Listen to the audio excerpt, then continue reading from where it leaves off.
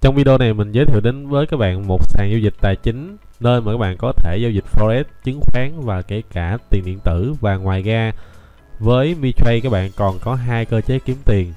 Thì thông tin chi tiết về sàn VTrade cũng như là cơ chế kiếm tiền như thế nào thì trong video này mình sẽ giải đáp cho các bạn cũng như là hướng dẫn cho các bạn cách để các bạn kiếm tiền trên sàn VTrade ha. Thì ở đây mình cũng có một cái bài viết review về sàn VTrade ở tại website của mình ha các bạn có thể vào để các bạn đọc bao gồm là thông tin về sàn à, rồi một số cái câu hỏi liên quan cũng như là hướng dẫn cái cách đăng ký ở trên website của mình. Rồi để không mất quá nhiều thời gian thì mình sẽ đến cái trang chủ của MiTrade để mình giao dịch cho các bạn xem luôn ha. Rồi, thì ở đây thì các bạn ờ, khi mà các bạn đăng ký tài khoản mới qua lên giới thiệu của mình á, thì các bạn có thêm một cái cơ hội giao dịch miễn phí nữa. Thì VJ cấp cho các bạn một cái tài khoản demo để các bạn giao dịch ha, với 50.000 đô trên đây rồi thì cái việc đăng ký nó cũng rất là đơn giản thôi. Ở đây thì mình có hai cách để đăng ký ha. Mình đăng ký qua email và mình đăng ký qua số điện thoại. Đó, thì các bạn chỉ cần à, đăng ký và làm theo hướng dẫn thôi nhưng mà mình đã đăng ký rồi ha cho nên là mình đăng nhập nhanh với các bạn luôn. Mình vào phần đăng nhập luôn ha. Ở đây thì mình sẽ nhập uh, thông tin về uh, đăng nhập của mình nè. Mình bấm vào đây. Ở trên đây á thì nó sẽ hiển thị cái số tiền của các bạn cũng như là cái uh, cái phần giao dịch của bạn trước đó như thế nào thì nó hiển thị trên đây. Rồi ở đây thì mình sẽ có hai cái tài khoản để mình giao dịch trên sàn VTrade đó là tài khoản thật và tài khoản demo. Với tài khoản thật đó là cái tài khoản giao dịch chính của các bạn ha thì ở đây nó có hiển thị luôn là cái uh, tỷ lệ lời lỗ của bạn ở đây nè rồi số vốn của bạn ở đây nè cũng như là cái số tiền mà các bạn ký quỹ các bạn đi ha thì nó hiển thị ở đây.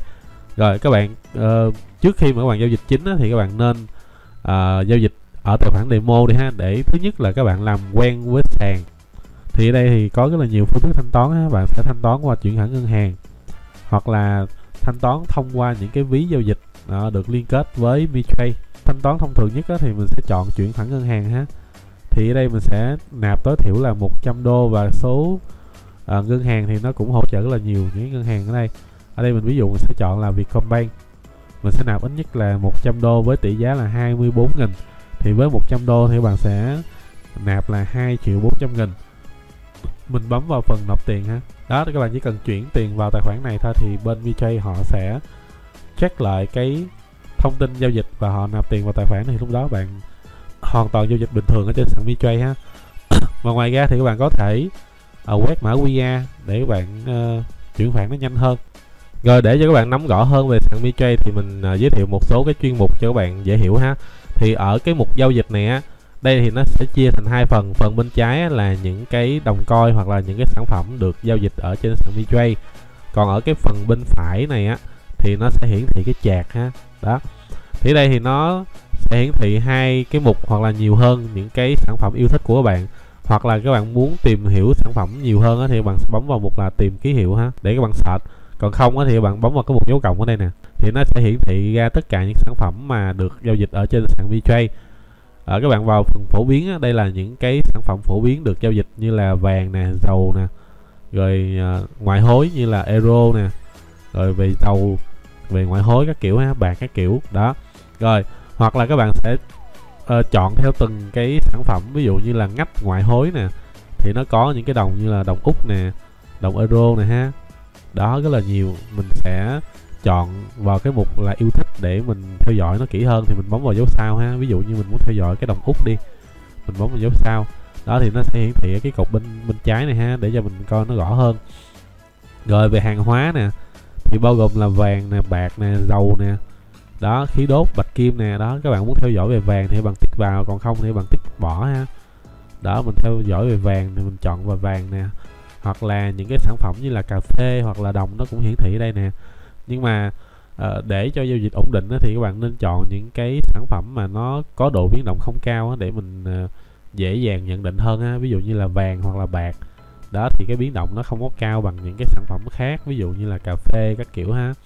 Rồi với phần cổ phiếu á thì hầu như là những cái cổ phiếu của những cái tập đoàn lớn nó đều có ha. Ví dụ như là Tesla nè Apple Alibaba rồi Netflix Intel Microsoft các kiểu. Mình muốn theo dõi thằng nào thì mình sẽ tích chọn thằng đó ha. Đó ví dụ như mình muốn theo dõi về cái giá cổ phiếu của Tesla đi thì bạn thấy cái uh, biến động của nó đang uh, có tăng trưởng tốt nè. Đó mình theo dõi ha. Rồi ví dụ như là Apple nó cũng tăng trưởng nè đấy rồi Microsoft thì nó đang giảm ha rồi hoặc là Disney nè Netflix nè đó. Các bạn muốn theo dõi thì bạn tích vào dấu thích ha. Rồi về chỉ số thì mình sẽ có là những cái chỉ số này ha. NAS nè BD nè BSB nè. Rồi về phần uh, tiền điện tử thì nó sẽ có bao gồm là crypto nè bit uh, bao gồm là bitcoin nè bitcoin cash rồi uh, ethereum. Hầu như là những cái đồng tiền điện tử lớn đều được À, list trên à, uh, mitrade ha giúp cho các bạn dễ dàng giao dịch hơn. Thì mình muốn theo dõi về đồng bitcoin thì mình sẽ chọn dấu sao ở đây ha. Rồi ethereum nè lời khuyên của mình thì các bạn muốn giao dịch ổn định thì bạn nên chọn những cái đồng tiền có cái chỉ số mà giao dịch nó ổn định xíu ha để mình dễ dàng nhận định hơn. Như là bitcoin và ethereum hoặc là về uh, ripple cũng ok nè. Đó mình sẽ chọn ba đồng này để mình theo dõi ha xong rồi thì mình sẽ tích dấu ít bỏ. Đó thì ở đây nó hiển thị những cái đồng mà mình muốn theo dõi này. Ví dụ như mình muốn xem bitcoin giao, giao dịch như thế nào đúng không? Thì mình sẽ chọn bitcoin. Ở đây thì mình sẽ coi được cái chạc của nó là một phút nè 5 phút nè 15 30 rất là nhiều ha. Nhưng mà thông thường để coi chỉ báo nó dễ hơn mình nên coi cái chạc 30 phút đó các bạn. Thì theo như cái chạc 30 phút này thông báo thì cái chỉ báo này nó tăng rất là khủng luôn từ 21 22k đúng không? Nằm đây nè và nó bay một phát lên tới 24k6 nó nhảy hơn 2.000 giá các bạn hơn 2.000 giá. Đó, và cái chỉ số này khả năng nó tăng các bạn thấy bởi vì là ở trước đó lịch sử nó đang có cái hướng đi ngang nè ha. Và nó tăng lên ở đây nó cũng đi ngang nó tăng nè. Thì ở đây nó cũng có chỉ số lên đi ngang nè và khả năng nó tăng ha và dự đoán cái đồng bitcoin trong khoảng thời gian tới có thể là nó bay ít nhất là cũng tầm 30k ha. cho nên là mình có thể theo dõi bitcoin để mình giao dịch. Đó rồi cái chỗ vị thế này là nó sẽ hiển thị cái lệnh mà các bạn đang giao dịch ha nó hiển thị ở đây để cho bạn nắm rõ hơn dễ hơn. Phần quỹ này á, thì nó sẽ hiển thị cái số tiền mà các bạn đã nạp vào đây. Đó thì nó sẽ hiển thị ở đây ha số dư rồi số tiền ở đây.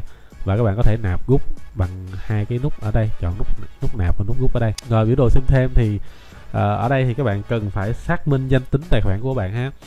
Tại sao chúng ta cần phải xác minh danh tính á, thì trường hợp mà các bạn bị mất tài khoản hoặc là tài khoản của bạn bị đánh cắp á, thì khi có xác minh tài khoản á, thì họ cũng rất là khó để họ đánh cắp tài khoản của bạn. Cũng như là cái việc lấy lại tài khoản nó cũng dễ hơn rất là nhiều ha. Đó thì lời khuyên của mình thì các bạn nên xác minh danh tính tài khoản của bạn ở đây. Rồi bây giờ mình sẽ hướng dẫn cho bạn cách giao dịch demo ha thì mình sẽ vào cái mục giao dịch nè. Mình chọn tài khoản mình chọn là tài khoản dùng thử các bạn. Ở đây á, thì mình sẽ giao dịch bitcoin nha. Đó bitcoin thì đây nó sẽ hiển thị cái chặt mua và chặt bán giá của nó hiện tại là 24670 đúng không? Thì mình sẽ bấm vào cái mục mua nè. Ở đây thì nó sẽ hiển thị về cái số lượng mà mình muốn mua. Đó thì hiện tại thì với 0,01 á, thì mình sẽ mua là à, 24 đô. Thì mình muốn mua là 0,1 luôn ha. Thì mình sẽ đi là 246 đô. Thì cái đòn bẩy cao nhất của nó là x10 ha các bạn. Đó x10 và thấp nhất của nó là x1 nhưng mà giao dịch đòn bẩy thì lời khuyên của mình bạn nên giao dịch là x2 x5 đi cho nó an toàn ha với người mới rồi phần chốt lời và dừng lỗ á, thì mình có thể tích chọn ở đây. Ví dụ như mình muốn chốt lời nó nhảy lên là 24k7 thì mình sẽ lời ở cái lệnh này là 6 đô. Còn chốt dừng lỗ là trường hợp mà các bạn cảm thấy là các bạn không có thời gian nhiều để các bạn vào để các bạn check chạc á thì các bạn có thể chọn dừng lỗ ha. Thì đây nó, nó tự động cho bạn là 24 k5 nếu mà nó gớt xuống đây á thì bạn sẽ lỗ là 13 đô. Đó nhưng mà mình có thể chọn 24 k5 chẳng ha. Thì nếu mà nó rớt xuống đây thì mình bạn lỗ cái lệnh này là 15 đô ha. Rồi à, mình sẽ à, muốn lời hơn á, thì các bạn có thể chốt cao hơn ví dụ như là 24 k 8 đó thì nếu như mà nó nhảy tới cái lệnh 24 k 8 á thì mình sẽ lời cái lệnh này là 14 đô. Nhưng mà hồi sáng nó nhảy cái lệnh này là tới 24 k 9 lần thì mình sẽ để 24 k 9 ha. Đó cái lệnh này nếu mà nó nó đạt tới cái lệnh cái mức giao dịch là 24 k 9 á thì cái lệnh này mình sẽ lời là 24 đô. Nếu mà nó gớt xuống cái mức giao dịch là 24 k năm á thì mình sẽ lỗ cái lệnh này là 15 đô ha các bạn. Rồi khi mà các bạn cảm thấy là mình sẽ chọn ờ, ok hết á thì mình sẽ bấm vào cái mục là mua nè. Đó đơn giản như vậy thôi. Rồi nó sẽ hiển thị cái mục vị thế nè. Thì với cái lệnh này nó đang giao dịch nè mình đang ờ, gồng lỗ là à, không ê, mình đang gồng lỗ là 3 đô hết các bạn. Nhưng mà không sao hết bởi vì thị trường nó đang tăng mà rồi mình lại tiếp tục vào một giao dịch ha. Mình uh, giao dịch vàng cho các bạn ha thì mình sẽ bấm vào một vàng nè. Thì với những cái giao dịch khác ngoài uh, tiền điện tử á, thì những cái danh mục khác thì cái đòn bẩy nó cao hơn rất là nhiều ha. Rồi vàng thì mình cảm thấy là cái mức tăng trưởng ở thời điểm hiện tại nó đang giảm nè thì mình có thể vào cái mục bán ha. Đó thì với cái mục bán này nếu mà trường hợp mà nó giảm tới đâu á, thì mình sẽ có lợi nhuận tới đó ha. Ở đây thì mình sẽ mua là 0,1 thì cái mức tiền mà mình đi là 367 đô. Và cái mức ký quỹ của mình là 18 ngàn ha đòn bẩy của mình là x50 nhưng mà nó cho phép mình tới x100 lần. Nhưng mà thông thường mình dùng x50 ha. Rồi chốt lời và dừng lỗ nè. Mình cũng có thể chích tích chọn ở đây để mình uh, giao dịch cho nó an toàn hơn ha. Nếu như mà cái lệnh mà nó rớt xuống là 18k3 á Ê 1837 á thì cái lệnh này mình sẽ lời là 2 đô 3 đô. Đó nếu mà nó rớt xuống là 1835 á thì mình sẽ lời cái lệnh này là 25 đô thì lúc đó mình sẽ lộ cái lệnh này là 16 đô ha. Nếu như mà nó tăng lên 1843 thì cái lệnh này mình sẽ lỗ 52 đô. Còn nếu mà nó rớt xuống 1835 cái lệnh này mình sẽ lời 26 đô. Khi mà xong thì mình bấm vào bán ha. Thì nó cũng hiển thị vị thế đây nè. Đó thì với cái ờ, giao dịch vàng á, thì ở thời điểm hiện tại mình cũng đang gồng là âm 3 đô nè. Nhưng mà không sao á nó đang giao dịch thôi. Bitcoin thì nó có dấu hiệu tăng nè vàng thì nó đang có dấu hiệu giảm đó các bạn. Mình thấy cái cái lợi nhuận của mình nó đang ờ, tăng lên từ từ nè. Cái việc giao dịch ở trên sàn BJ nó cũng đơn giản như vậy thôi. Mình sẽ chọn cái sản phẩm mà mình muốn giao dịch từ uh, crypto ngoại hối nè rồi kể cả chứng khoán đều được ha. Rồi cái mục vị thế này thì nó sẽ hiển thị cái uh, lệnh của mình đang giao dịch. Rồi quỹ thì nó sẽ hiển thị cái uh, số tiền mà mình đang giao dịch với cái tài khoản nào ha. Nếu mà tài khoản demo thì nó sẽ hiển thị demo. Còn tài khoản dùng thật á, thì nó sẽ hiển thị tài khoản dùng thật này ha. Rồi ở trên đây thì nó sẽ hiển thị những cái chỉ số cho các bạn nắm rõ hơn để các bạn dễ hình dung hơn ha về uh, tiền mà các bạn đang gồng nè. Và đó là cái cách kiếm tiền đầu tiên là mình giao dịch ở trên sàn VTrade để mình kiếm lợi nhuận hàng ngày ha. Các bạn có thể giao dịch uh, tất cả những cái sản phẩm mà được niêm yết ở trên sàn VTrade. Rồi cách thứ hai để mình có thể kiếm thêm trên sàn VTrade tức là mình sẽ tham gia vào chiến dịch affiliate của sàn VTrade ha thì các bạn có thể vào cái địa chỉ website là Ờ, uh, à, mitradeaffiliate.com thì ở đây các bạn đăng ký uh, một cái tài khoản affiliate để các bạn giới thiệu về sàn. Nó sẽ có một số yêu cầu để các bạn có thể đủ điều kiện để các bạn tham gia ha. Thì yêu cầu như thế nào thì các bạn sẽ vào phần get started nè. Thì ở đây nó sẽ yêu cầu một số cái nguồn traffic của bạn ha. Nếu như các bạn có website nè hoặc là các bạn có uh, những cái kênh social và người dùng về giao dịch tài chính á, thì các bạn có thể đăng ký uh, tham gia Mitrade Affiliate để các bạn kiếm thêm cái nguồn thu nhập ở trên đây ha cụ thể là kiếm như nào thì mình sẽ review với bạn chi tiết về cái chương trình Affiliate của sàn VTrade. Với cái chương trình à, Affiliate VTrade thì đây nó sẽ chia ra thành hai cái hình thức để các bạn có thể lựa chọn đăng ký ha. Với cái hình thức là CPA tức là các bạn nhận tiền một lần.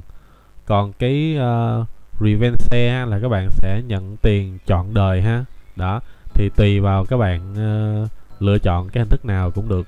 Với CPA thì nó sẽ yêu cầu một số cái như sau à, các bạn có thể kiếm lên đến là 1.800 đô cho mỗi một giới thiệu thành công. Thì đây nó sẽ yêu cầu ha là người mà các bạn giới thiệu cần phải đăng ký thành công và có cái mức nạp tối thiểu là 50 đô.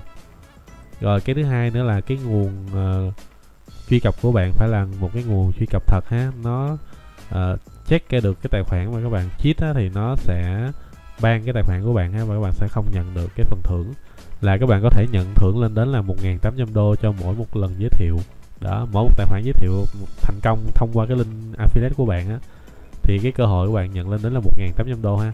Cụ thể á, thì người được giới thiệu á, cần phải đăng ký thành công và nạp tối thiểu là 50 đô vào tài khoản giao dịch ha rồi chấp nhận lưu lượng truy cập từ nhiều quốc gia đó. Thì ngoài Việt Nam ra thì các bạn có thể target đến những cái quốc gia khác để các bạn kiếm thêm cái nguồn ờ, thu nhập ha. À, tích lũy hàng ngày đó. Như vậy thôi CPA là như vậy thôi đủ điều kiện để mà sẽ nhận ha. Rồi cái hình thức là revenge share là các bạn sẽ nhận cái hoa hồng giao dịch lên đến là 40 phần trăm. Hoa hồng giao dịch chia sẻ lợi nhuận là 40 phần trăm doanh thu của khách hàng giới thiệu. Và kiếm tiền nhiều hơn không giới hạn với khách hàng tiềm năng chất lượng cao. thì nó cũng giống như bên kia là chấp nhận cái nguồn truy cập từ những cái nước khác á. À, miễn là khách hàng của bạn tiếp tục giao dịch thì bạn tiếp tục kiếm tiền đó.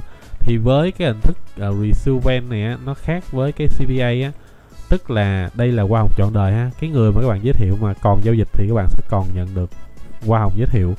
Còn CPA này là nó trả một lần và nó hết ha. Trả một lần và nó chấm dứt luôn. Nhưng mà CPA thì bạn kiếm một lần nó nhiều hơn. Đủ điều kiện là giao dịch 50 đô đó, là các bạn đã có được là 1.800 đô ha nó sẽ trả vào tài khoản affiliate của bạn.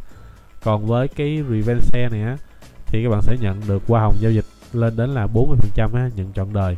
Khi nào mà họ còn giao dịch thì các bạn sẽ còn nhận được hoa hồng. Có để một số cái cách để các bạn có thể kiếm tiền thông qua hình thức affiliate nè. Đầu tiên á, là apply online tức là các bạn có thể tìm người dùng thông qua những cái hình thức online trên mạng xã hội đó thông qua website nè blog nè hoặc là những cái video review hoặc là những kênh social. Rồi uh, play ads là cái hình thức mà các bạn dùng để chạy quảng cáo để tìm khách hàng. Đó thì đây có hai cái cách chính là đầu tiên là thông qua những kênh mà các bạn có sẵn các bạn giới thiệu. Còn cái thứ hai nếu như các bạn có ngân sách á, thì các bạn có thể chạy quảng cáo trên những cái nền tảng khác để các bạn uh, kéo người dùng đăng ký tài khoản và giao dịch ha. Rồi bây giờ thì mình sẽ tóm lại cái cách để mình kiếm tiền trên sàn MiTrade thì mình sẽ có hai cách.